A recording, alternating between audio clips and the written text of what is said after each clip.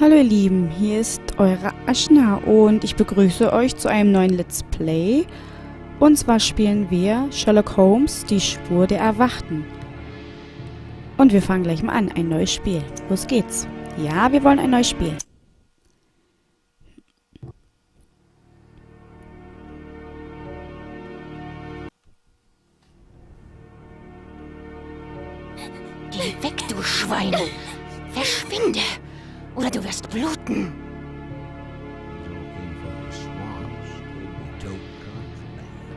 Holmes, helfen Sie mir! Do not fight the calling. Blut. Ich bitte Sie, Holmes. Betang! Reim! Your blood! Nein, nein, das kann nicht sein. Es, es kann nicht so enden. Schon wieder plagt mich dieser Albtraum. Er lässt mich nicht vergessen. Wie hat das alles angefangen?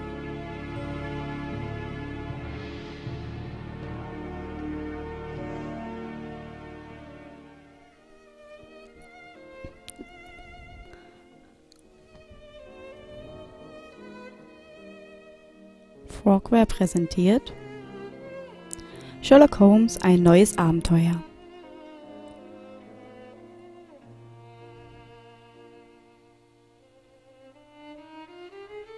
Die Spur der Erwachten.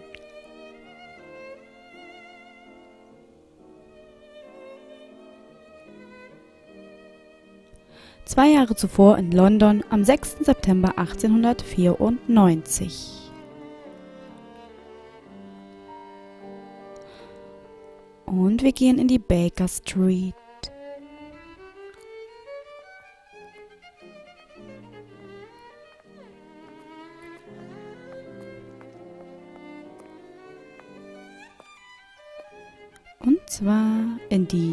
221b zu Sherlock Holmes.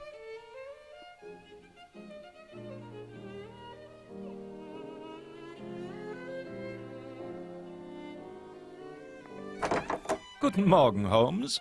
Sieht nach einem typischen Tag in London aus. Nebel am Morgen, Nebel am Nachmittag und jetzt die Überraschung. Nebel am Abend. Guten Morgen, Watson. Können Sie sich das vorstellen? Ich bin seit 5 Uhr auf den Beinen und meine Patientenliste für heute scheint nicht kürzer zu werden. Und was noch unerträglicher ist, ich konnte noch nicht einmal einen Blick in die Morgenzeitung werfen. Man sagt, der Minister wird angeblich... Holmes, was ist los? Sie hören mir ja gar nicht zu. Das ist die Langeweile, mein lieber Watson. Das Leben ist gewöhnlich, die Zeitung ist leblos, jede Spur von Kühnheit und ich würde sogar sagen, Romantik ist aus der Welt des Verbrechens verschwunden. Das geht vorüber. Holmes, Sie wissen doch ganz genau, dass sich früher oder später ein außerordentlicher Zwischenfall in London oder in der Nähe ereignen wird, der unbedingt die Fähigkeiten des Sherlock Holmes erfordert. Dann hängt es von Ihrem beweglichen Geist ab, die Dinge zurechtzurücken, was Ihren ständigen Bedarf an mentaler Gymnastik decken sollte. Ihr Wort in Gottes Ohr, Watson. Ihr Wort in Gottes Ohr. Äh, ich muss jetzt gehen, Holmes. Ich habe einen Termin mit einem recht äh, ekelhaften Mann, Captain Stanwick. Er ist offenbar in einem furchtbaren Zustand und der Tachykardie nahe wegen eines Problems mit seinem Diener. Machen Sie doch einen flotten Spaziergang, Holmes. Kaufen Sie sich vielleicht eine Zeitung oder besuchen Sie diesen äh, Barnes in der Glentworth Street. Erinnern Sie sich an ihn? Den Buchhändler. Er hat ein paar neue Bücher von der Sorte, die Ihren Geist eine Weile beschäftigen sollten.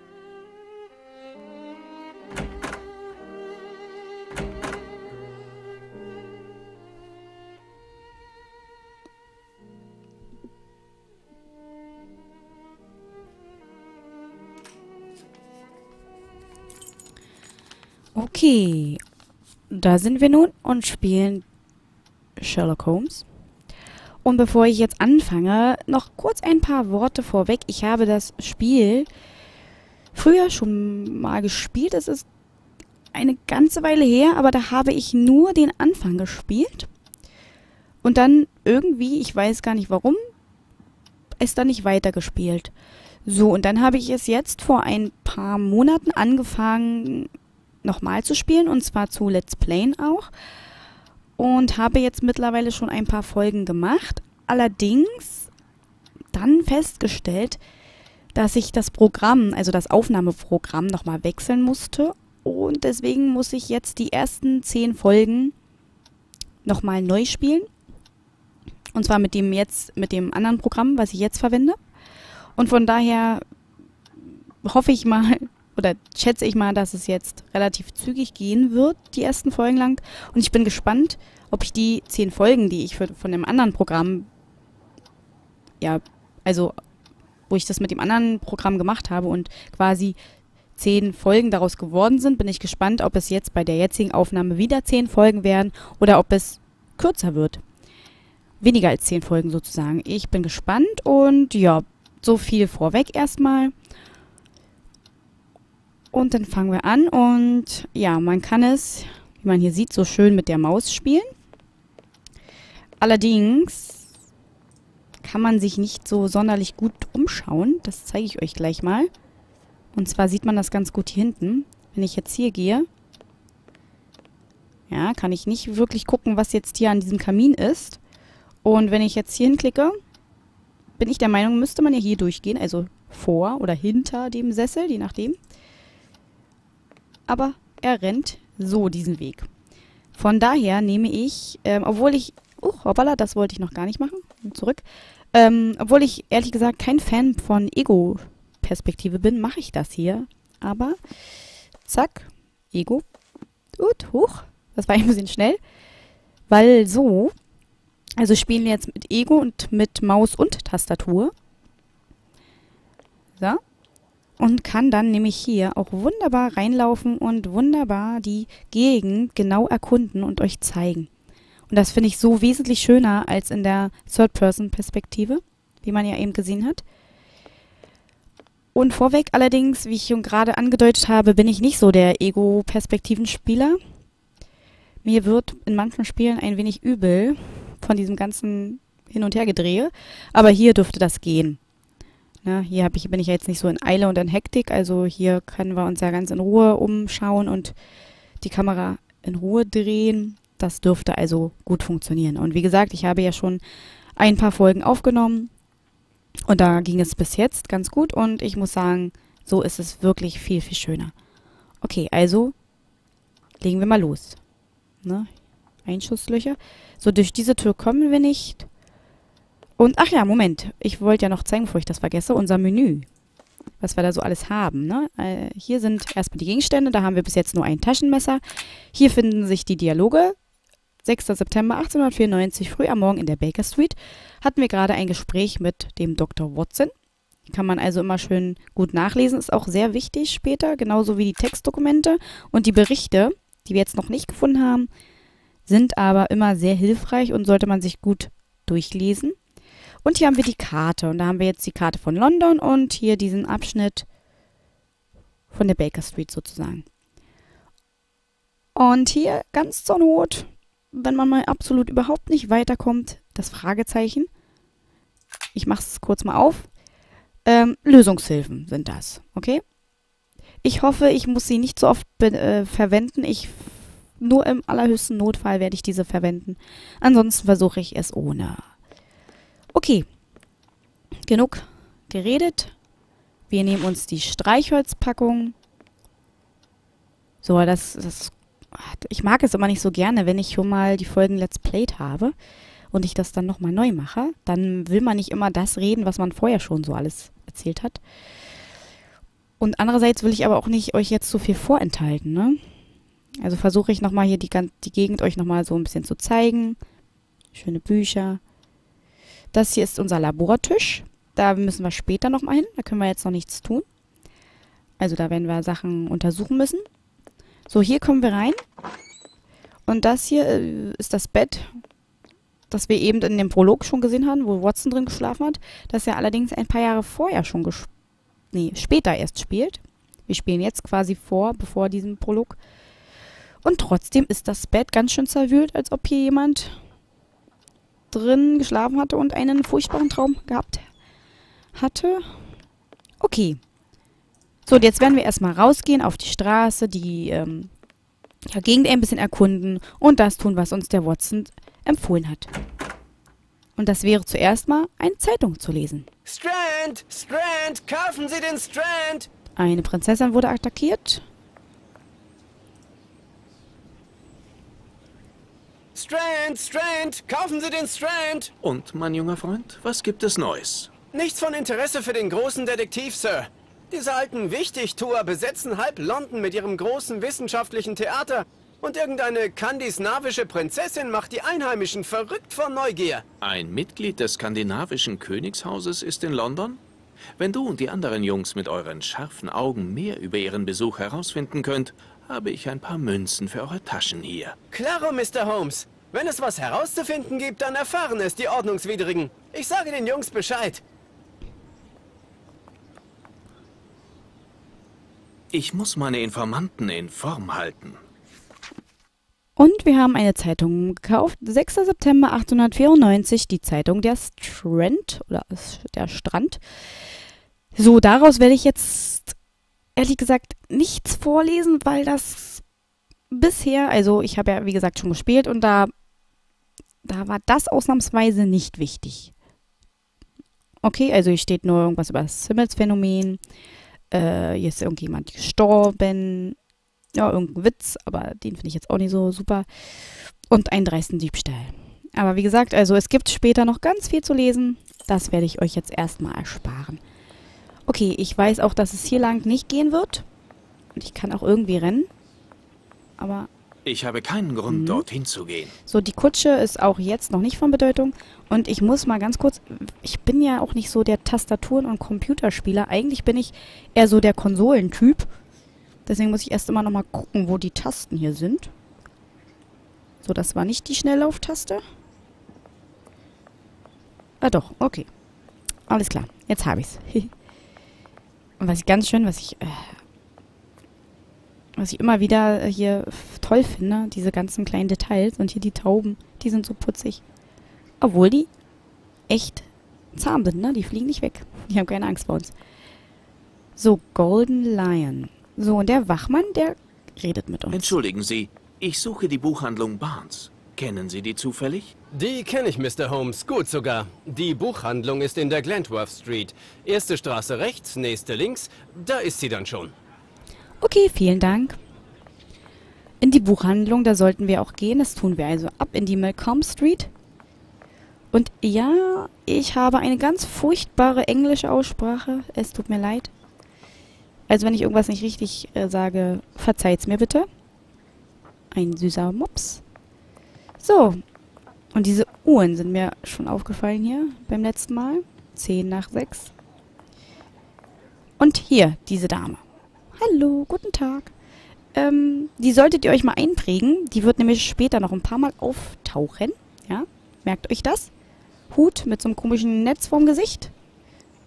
Ziemlich rot gekleidet. Okay, da hinten sieht man schon, ist eine Absperrung. Das erspare ich uns. Da kommen wir nämlich nicht lang. Schönen Gruß, Miss Fleming. Guten Tag, Mr. Holmes.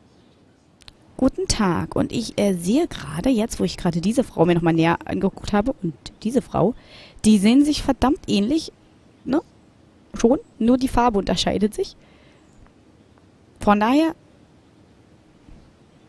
Hm, na gut, egal. Ähm, ich, äh, ich sag mal jetzt nichts. Ich werde später nochmal irgendwie drauf eingehen. So, da hinten kommen wir auch nicht weiter, das weiß ich auch schon. Ist auch gar nicht so weiter schlimm, weil wir müssen ja hier in die Buch, in die Buchhandlung, ne, zu Barnes, also Barnes Bookseller. Gehen wir doch mal rein. Guten Morgen, Mr. Holmes. Wie geht es Ihnen? Ich habe einige neue Bücher, die Sie interessieren dürften ein hübsches illustriertes Werk über Fische und eine Sammlung von Piratenlegenden. Sie müssen hier irgendwo sein. Und die werden wir uns auch nehmen. So, das eine ist hier. Ah, das, das Piratenbuch. das Piratenbuch. Und auch das werde ich nicht vorlesen, weil schaut es euch an, es sind vier Seiten. Und ich denke, auch die sind nicht so wichtig. Wer das lesen möchte, kauft sich natürlich das Spiel. Ne? so, okay. Ähm, da Ein ist das Buch Fischebuch. über die Meeresfauna. Das werden wir uns allerdings näher anschauen. Genaue Zeichnungen und anatomische Daten der Unterwasserwelt der Tiere Band 2. Dort sehen wir links Fische und rechts deren Schuppen. Rotfan, Rotwanz, Rotschwanz meine ich natürlich, Rotschwanzschnapper, silberne Meerforelle, roter Trommler, spanische Sardine, Barsch und die Rotbrasse. Hier kann man quasi die Schuppen den Fischen zuordnen oder eben schauen, welche Schuppen die Fische so haben. Okay, lassen wir das so im Raum gestellt. Auch hier ist eine Uhr und zack, und plötzlich ist es nicht mehr 10 nach halb, nee, Quatsch, 10 nach um 6, sondern hier ist es für 5 nach, naja, so 7 nach 12. Das hat mich beim letzten Mal auch ein bisschen irritiert. Irgendeine Uhr geht hier falsch. Entweder diese oder die draußen. So, ähm. Ich nehme sie. Danke sehr. Und auf Wiedersehen, Mr. Holmes. Wir nehmen also die Bücher. Auf Wiedersehen, Mr. Barnes. Und gehen wieder raus. Und wir schauen uns jetzt nochmal die Uhr draußen an. Diese verflixten Uhren. Und die ist nämlich jetzt auf fast Viertel. Nach sechs. Die scheint also zu gehen. Das finde ich cool. Und auch die Taube da, die ist mir beim letzten Mal noch gar nicht aufgefallen. Die ist auch gut. Ansonsten ist es echt schön hier gemacht, muss ich sagen. Gefällt mir alles. Auch diese kleinen Details sind super. Und was ich ganz besonders toll finde, damals noch, ne, hier sind die Straßen auch nicht so überfüllt. Man hat viel Platz, man kann überall laufen, keine Autos fahren. Herrlich. So, und da hinten sehe ich schon, seht ihn auch? Ich, ich hänge. Moment, so jetzt. Holmes! Genau. Hier! Das wollte ich sagen. Wir sehen Dr. Watson und da gehen wir jetzt gleich mal hin zu ihm. Ach gut, dass ich Sie finde, Holmes. Wie ich Ihnen schon sagte, heute Morgen war ich bei Captain Stenwick. Seine Symptome sind zwar nicht ernst, aber die Umstände, die zu seinen Herzbeschwerden führten, sind recht eigenartig. Vielleicht werden Sie daraus schlau. Hier sind Captain Stenwick und Sergeant Rufels.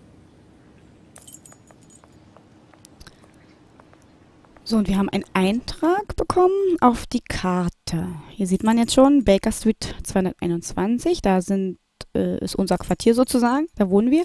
Hier ist Captain Stanwicks Haus und hier war Barnes Buchhandlung. Und wir gehen jetzt zu Captain Stanwicks Haus. Beziehungsweise gehen wir jetzt zu Herrn Stanwick und reden mal mit ihm.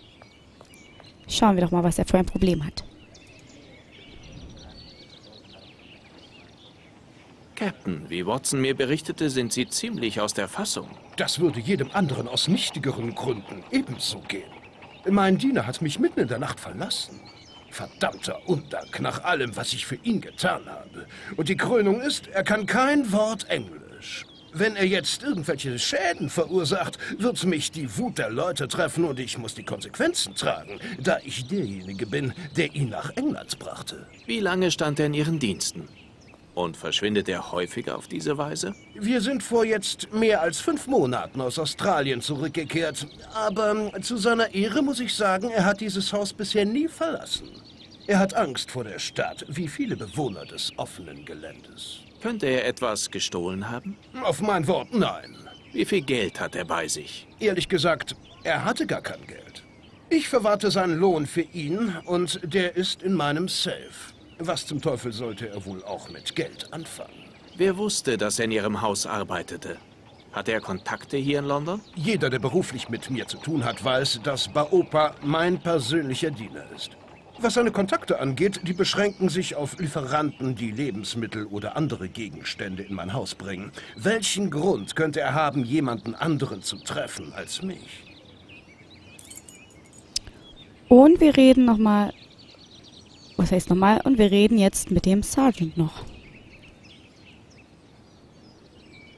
Also, Sergeant, worum geht es und welche Teile dieses Verbrechens haben Sie festgehalten? Dem offiziellen Bericht zufolge wurden die folgenden Einzelheiten aufgenommen. Ein junger Maori namens Baopa wurde von seinem Arbeitgeber Mr. Stanwick als vermisst gemeldet. Niemand im Umfeld hat irgendetwas Relevantes in dieser Angelegenheit gesehen oder gehört. Um ehrlich zu sein, befassen wir uns nur selten mit solchen Fällen, aber der Junge spricht kein Wort Englisch und verfügt nach Angaben seines Arbeitgebers über beträchtliche Kräfte. Bedenkt man die wilden Sitten seines Heimatlandes, wer weiß, welchen Schaden er verursachen könnte. Sie müssen wissen, Mr. Holmes, dass es kürzlich einige ähnliche Fälle gab. Die Tatsachen ähneln sich sehr. Einwanderer aus den armen Vierteln wurden von ihren Familien als vermisst gemeldet. Wir glauben, dass ein drittklassiges Bordell seine Türen für die ansässigen Exoten geöffnet hatte und Sie können sich vorstellen, Mr. Holmes, dass sich das wie ein Lauffeuer verbreiten würde. Mit seinem einzigartigen Aussehen und dieser Sprache finden wir diesen Jungen im Handumdrehen. Ich nehme an, er wird nichts Schlimmeres vorzuweisen haben als leere Taschen und einen zufriedenen Ausdruck auf dem Gesicht. Das ist sicherlich eine Möglichkeit. Ich wäre Ihnen jedoch höchst dankbar, wenn Sie Ihre Vorgesetzten bitten würden, mir die Berichte über diese ähnlichen Fälle zu senden. Ich verlasse mich auf Sie, Ruffles. Watson, setzen Sie Ihre Suche hier fort. Ich muss einer anderen Spur nachgehen. So, okay, das ist also sozusagen unser erster Fall. Der Herr Stanwick hat also einen Diener, den Baopa, und der ist spurlos verschwunden. Okay, und ich werde jetzt einfach mal so tun, als wüsste ich noch von gar nichts. Also ich werde nicht spoilern und verraten, was, wie es hier noch weitergeht. Und ich lasse sie erstmal so im Raum stehen. Für diejenigen, die das Spiel eben noch nicht kennen. Um nicht die Spannung zu nehmen. Ne? Also der Diener Baopa ist verschwunden und wir werden gleich mal hier ein bisschen auf Spurensuche gehen, um herauszufinden, was denn hier passiert ist. Aber bevor wir das tun, mache ich eine kurze Aufnahmepause. Ich werde speichern und ihr, die die Folge vielleicht euch bis zum Schluss angeschaut habt, könnt mir einen kleinen Kommentar da lassen. Das würde mich auf jeden Fall sehr riesig freuen ja, schreibt, wie ihr es gefunden habt, ähm, ob ihr, ja, auch wenn ihr Wünsche, Anregungen, was auch immer, Kritik habt, schreibt es in die Kommentare rein. Ich freue mich über alles. Und hoffe, dass wir uns einfach in der nächsten Folge dann wiedersehen. Ja, das war's auch schon. Also, bis gleich. Tschüss.